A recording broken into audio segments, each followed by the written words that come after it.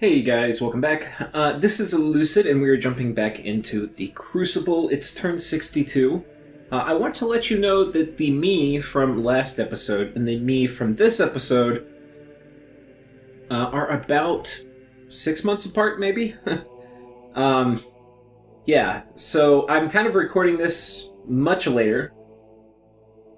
And, uh, yeah, so I will probably have some slightly different insights and perspectives than I did at the time, but uh, I will be going through these turns uh, with much of the same surprise uh, as I originally opened up the turn file. Since it's been so long, I don't necessarily remember everything. But um, anyway, we are getting to a very exciting part of the game, so I'm very excited to share uh, these next few turns with you. Um, it is about to get crazy. Um, the Marinese Empire is falling apart. Agartha has just stormed through since Marignon has had his armies only committed to fighting me off. Um, and so Agartha has taken everything, and with that, uh, it's very clear who the next superpower will be, and that is going to be Agartha. So, uh, without further ado, let's look at this turn. So, we are getting uh, reasonably high up in blood magic. I'll have to see exactly what that is. We'll go check real quick. Um, so we're at blood 8, and that is very important because it opens up Rush of Strength for us, and this is why we went to blood 8. there are very few spells that will increase the damage output of all of your troops. Um, there's Rush of Strength, which is kind of the only way to increase strength for all your troops. If you want to go with just increasing some of your troops' damage, you have Strength of Giants. Um, and then you also have in construction, you have Weapons of Sharpness. But, I mean, this is a big spell, it's Area of Effect 25, but um, if you're coming in with hordes of skeletons, this is not going to cut it. And our Earth Mages are already in very short supply. So having a way to buff up our troops to hit through some of the late game protection spells is pretty important, uh, and that is why we are bringing Rush of Strength. Uh, it also gives us Life for Life, which is another way to deal with super combatants, and then potentially three red seconds, though we probably will not be using that.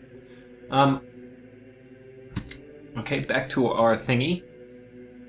Uh, okay, so Voice of Apsu, uh, Gnome Lord, did not find anything. Okay, we found two magic sites here. Let's go see where the hell this is. Okay, nice. What are these sites? Um, Battlefield and Labyrinth of Skulls. So that's one death gem, and I think this is one too. So that is nice. We can always use more death gems. I, I'm going. I mean, I cannot spend enough death gems with this nation. Hmm. Okay. Uh, I saw his Pretender God, so this is going to be interesting. Um, maybe I'm missing something. Okay, I think I know what happened here. We uh, we were trying to get some guys out of Dodge, uh, and they retreated to a place where I didn't want them. So I'm having to have them ping this fort and then retreat out. So uh, that is basically what happened here. Um, and then down here, oh, the other context that's pretty important for this episode is in uh, the previous turn, I'm basically getting wiped out by Marinese Doomstacks. I mean, I'm fully committing because I have to bust through Marignon's Doomstacks before Agartha takes everything. Uh, but it's not working, guys. So battle number two, uh, this is on top of... Is this on top of Sceleria? the hell is... Okay, he's just getting rid of some cursed afflicted dudes. Where the hell is that? Uh, Centenia. Okay, so we take those off his hand. Um, a Harbinger comes in. Uh, these are pretty cool little dudes. They can cloud trapeze, which is always really cool, but uh, it is not going to uh, kill all of these guys. I mean, actually looking at it, it's theoretically possible here. Um, he's casting... What? Storm? What you doing, bro? I don't know why he's casting Storm.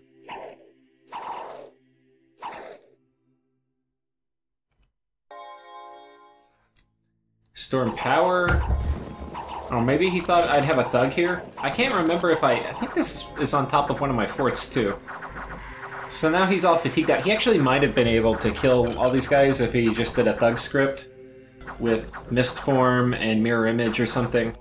But uh, yeah, right now his harass penalty has taken his defense to zero, plus he's crippled. Um, I think we know how this is going to end.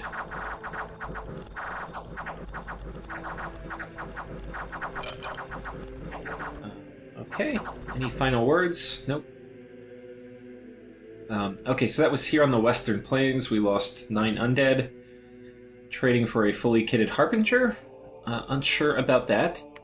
Um, and then we have a big battle here, so let's just see what happens. So Marignon is attacking Agartha here. Now this is a desperate attempt from Marignon to throw off Agartha from this throne. Um, because he was fully committed his armies to attack me to keep me out of Pangea, uh, he has very little to try to throw off Agartha. And so basically, I look at this as a mage sacrifice. Um, I don't even. I mean, it essentially doesn't even matter what he's going to script. Agartha is known for very heavy troops, um, so there's not going to be any kind of mage shenanigans that a few of these guys are going to do, which is going to kill all of this stuff, especially this few. So, yeah, it's basically over before it started. We'll speed through it just so you get to see the battlefield magic coming down. Yeah, rip. Um, yeah, so that was him trying to, I guess, hurt Agartha, though questionable there. Um, and then we are attacking Marignon here. Okay, there's nothing there, so it's just PD. Um, and then Agartha is attacking attacking Marignon here. And this is a fort battle, and there's not much inside, so I think we know how this is going to go. Um, I have to say, I am surprised by how much, just the raw quantity of what Agartha has. And um, I, I talked with this player, the guy who's playing Agartha, and he had watched my Let's Play on MA Agartha and said basically he liked a lot of things I was doing, but uh, that I seriously underused Magma Children, and I tend to agree with him. Um, these guys are pretty phenomenal once you put uh, any of the Army of Letter Gold spells on them, and they have 20 protection. Uh, because basically they have a AoE 1 uh, attack, which is going to be doing uh, strength-based damage, so especially if you have a way to buff their strength, um, they can do pretty phenomenal damage. And because it's fire damage, it's uh, armor piercing. So pretty pretty solid. Uh, and then your statues, of course, are very excellent. The thing that's a little anti-synergetic with the uh, the statues, like they have phenomenal protection, uh, but uh, it doesn't really benefit from Army of Gold, which with Agartha, with all the high Earth magic you have, is going to be kind of ubiquitous in the late game.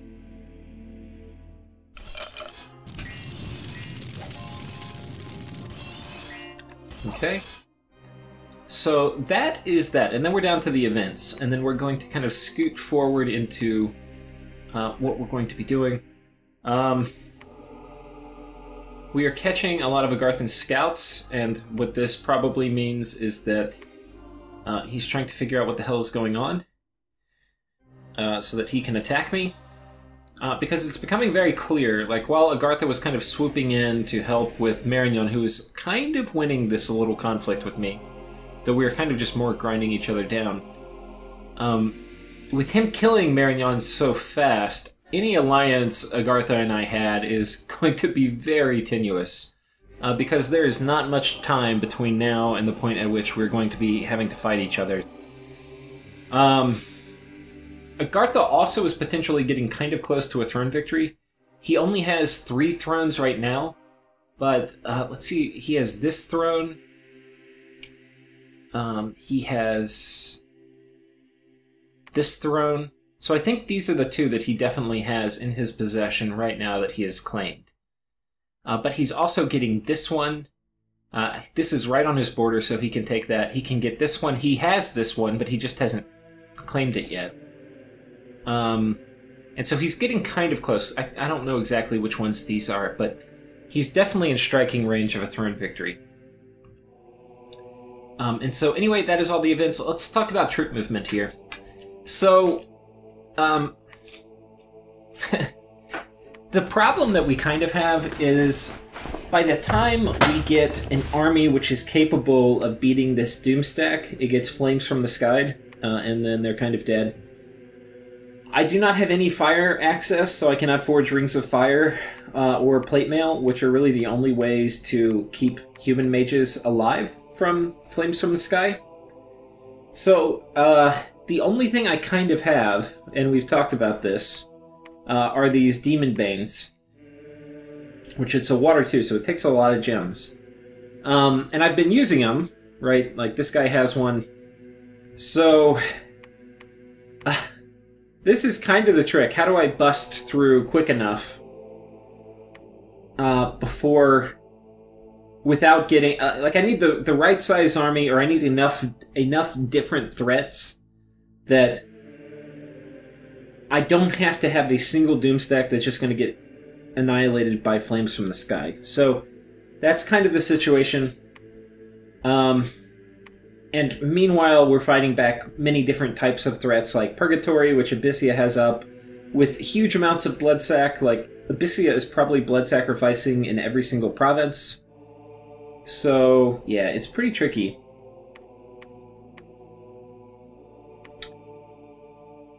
Um, trying to think what else. So, okay, in terms of troop movement, um, we are moving. Who's moving in? We're moving uh, a pretty big contingent of dudes to reinforce this. I do not want Agartha's army here to come and be able to take this very quickly. Uh, I also uh, am moving dudes up here, and uh, what is the script we have? We've got Communion Master with some Apostasy and Attack. I think I'm worried about Marble Oracles. Um, yeah, like this guy coming in, so you see the Apostasy, Attack, Apostasy. That's to get this guy in range of Apostasy spam, so I can hopefully take one of his, uh, one of his dudes. Um, and we're basically still going to be attacking with these guys. Like, they hit here and they retreated off. That was that retreat battle. Uh, but they went back up here, so they're trapped again. I'm going to keep hitting this until I can bounce off in the right direction. Um, but, you know, if I do that and he attacks both of these provinces, then these guys are just going to be dead. So that is kind of it. I don't... This is not a super... Uh, crazy impactful turn. The other problem I have is I've got... I've moved a bunch of guys to my capital because I was going to be recruiting a bunch of Banes and things like that here to send units off, but I've got more priests here than I can actually uh, send off, and so that is kind of a problem. Um, we're getting another Troll King, so we're spending some of our Earth Gems. Uh, I have a ton of pearls, and those are getting saved up for the most worthy purpose of putting up Arcane Nexus. I don't know where. Where's my Arcane Nexus mage?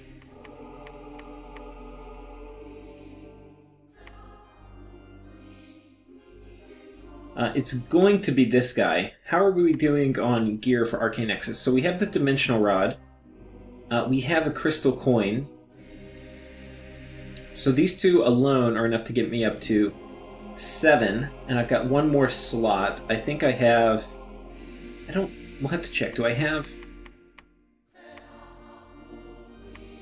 I don't know if my Ring of Sorcery is lying around. Here's my Earth Astral Mage. So anyway, we're getting pretty close. I, I have to check. I'll have to look through. Uh, because I'm kind of coming back after the fact, I'm not totally sure where all my items are. But um, I'm getting very close to being able to put Arcane Nexus up. Uh, it is uh, 150 gems to cast. I already have that, but I want to overcast it by a good bit. I'm not sure how much. Um, and it is only Astral 8 to get off. So, uh, assuming I have a Ring of Sorcery or Ring of Wizardry running around, which I think I do, uh, I will be able to basically fire off that Arcane Nexus, and then we'll be in good shape. This guy is also uh, basically ready to go with Twiceborn and Ritual of Returning, so we'll probably put other stuff on him to help him not die if he gets attacked by horrors or random events or anything, because once you put 400 gems in something, you need to cover all your bases and make sure that guy is not going to die easily. Um, so anyway, I think that is it for this turn. Let's go ahead and pull up turn 63.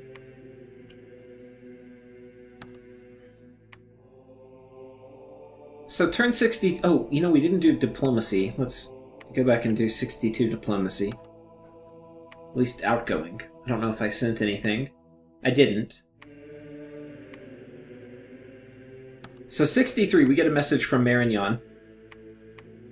Uh, for a few reasons I was originally planning to, particularly as I can't hope to beat either of your armies if I split my forces.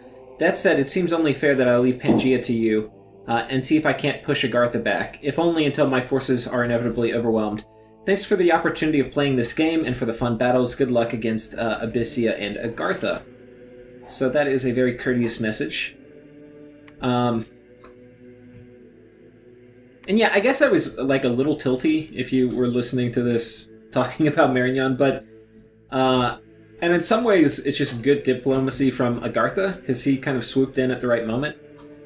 Um, but I was really hoping that Marignon would cut a deal where he gave up some of his land to me and then defended himself against Agartha.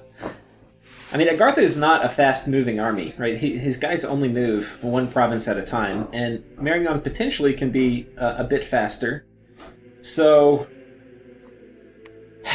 yeah. But anyway, I had we had some really good battles, uh, and I. So I cannot say that I regret any of that. Uh, even the battles you lose, when you have just two huge armies fighting each other, it is pretty fun. Um, and they went both ways. I won some of the early ones. He won some of the later ones. Um, okay, so he is moving this way to keep this throne from Agartha. So I think he's going to give Agartha at least one good fight, um, which is certainly fine by me. Uh, we have another Vampire Lord. We cast Dark Knowledge. We found a Well of Pestilence. Nice. Uh, Troll King Court, so we have another Troll King. Uh, there was a battle in Pangea. I'm trying to get my dude out, but I'm so far... Uh, I don't know where this guy... Did we get him out? Okay, we got some of them out. Some of them retreated in the right direction, so that's nice. Um, there's another battle here where Abysia basically pushes some of Marignon's dudes out. And then... Actually, there's one more thing I think I want to say on uh, the diplomatic front here. Uh, there's not too much more in terms of events. Um, while in some ways Mar- you could say Marignon was doing a public service by fighting me with kind of his full armies, he he probably could have played this a lot better. Like if he told Agartha, "I'm not going to keep my armies off your front because I know that you'll come backstab me," which Agartha did. So if you do not help me attack Sceleria, then I'm going to be forced to give up some lands to Sceleria because I think if he were playing to win, that's what he would have had to do, would give up some land. He would have to give up lands to me. And that would have made me be probably the bigger, the better guy. The problem really was that Marignon was so big, so much bigger than everybody, that uh, he could not give, like, he couldn't fight me with all of his armies and then expect other people to kindly ignore an undefended border. So he would have. He, I think he basically just had to accept that at this phase in the game he would get a little smaller, and then figure out what he does diplomatically to kind of swing things back in his favor. Because Marignon has very good late game stuff with some of their special astral summons and things like that. Um, you know, he definitely still could have won, but I think just yeah, he either had to win very decisively against me and then like continue to push me back, which is really hard when you look at just the undead economy I'm grinding into him. Um, but anyway, so that's enough on that. Um, anyway, he has told us that we can have Pangea, and we will definitely take him up on that offer, but we will not assume it's coming free. So right now we're going to move a little scouting force in in case he's kind of baiting me because I trust him, but I don't trust him that much. So uh, the scouting force is going to be dropping some of the important spells like Foul Vapors, Life After Death, Fog Warriors, etc., uh, etc., et Will of Fates. Uh, yet, we're not going to commit everything. And what do I mean by that? I mean, uh, we're not going to be moving in like a bajillion troops that he can nuke with flames from the sky. We're going to kind of gradually amp up the siege here. Uh, and meanwhile, we're going to continue to push in this way. Uh, I don't send a message back. That's kind of impolite. Marignon sent a nice message. I probably should have messaged him back. Um, anyway. Uh, but that is basically what we're doing. We're moving here, we're moving here. I'm also moving a big force up this, or a small force up this way. Um, I forget exactly what my plan is here. Oh yeah, I need to get these guys. This force is basically moving up uh, just to preach. Or no, we've already got a bunch of guys here. Who else is coming? This guy is at coming to join the group uh, to preach is what's going to happen. But actually, this is kind of dumb because he's diseased and he has an item, so I should take the item off of him and let him die. Uh, he's not twice born or anything, and even then it wouldn't matter. He's just going to lose the gear, so that is an oversight. Um, Oh, okay. So now we're also attacking Agartha. Because Agartha and I do not have a nap. So there's nothing... It's kind of just a gentleman's agreement that we needed to eat Marignon. But uh, he is sieging up a bunch of Marinese forts. And uh, because of that, uh, the timing, I, I do not want to let him entrench at all. Marignon has a huge fire income. Uh, Agartha definitely has things he can spend that fire and come on.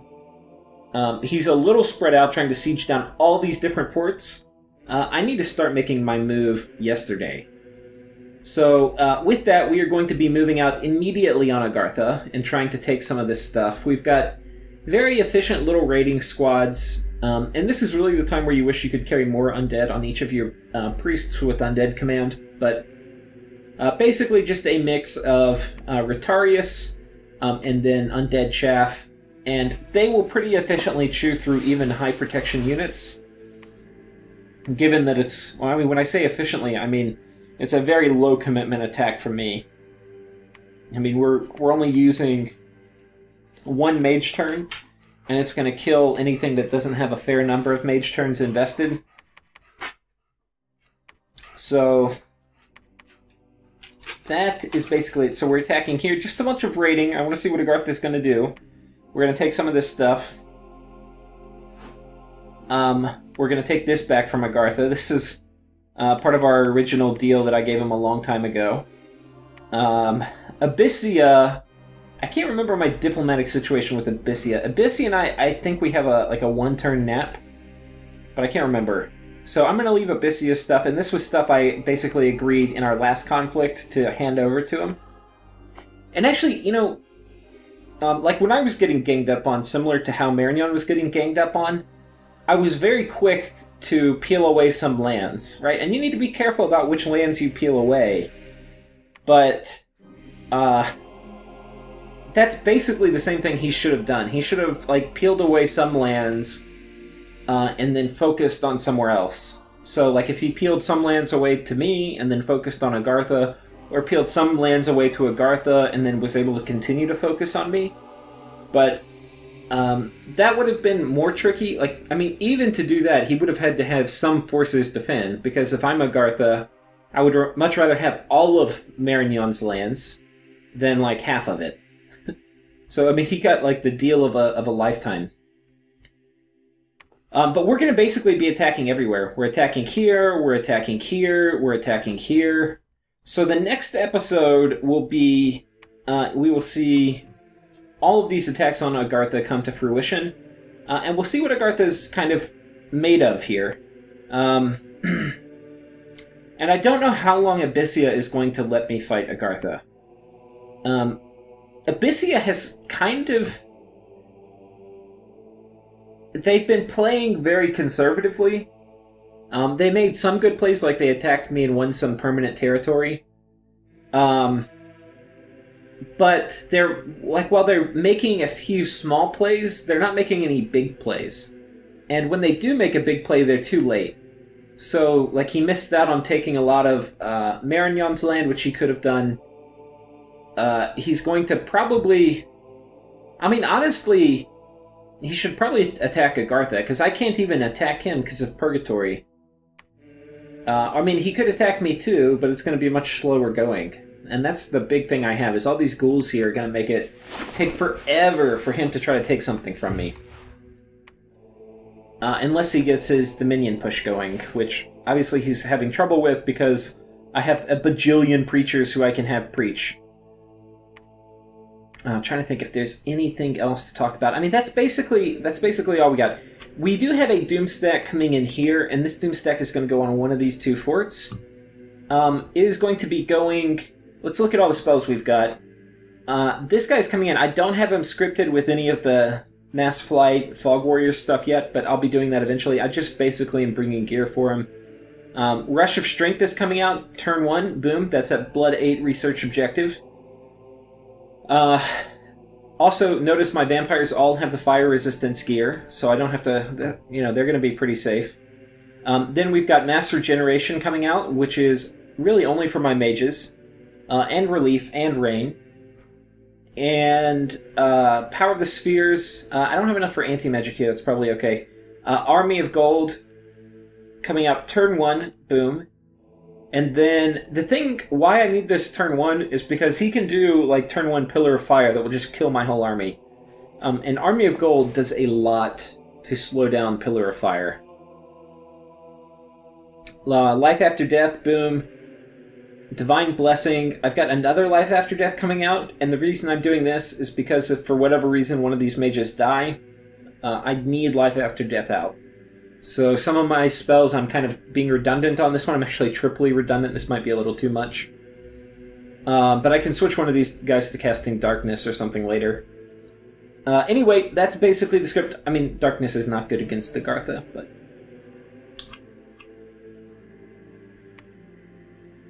Uh, this is my high commitment attack. Ideally, uh, I lock up this fort, because I move a bunch of guys on here. Uh, and then next turn, I pop this under siege. Actually, the timing's kind of off. Really, I would want to lock this up the same turn I put this under siege. But as it stands, if I come in here, there's a few things. One is I could take this army and move it over here, and it's going to kill whoever he sends over this way to break this group off. That's probably what I should do.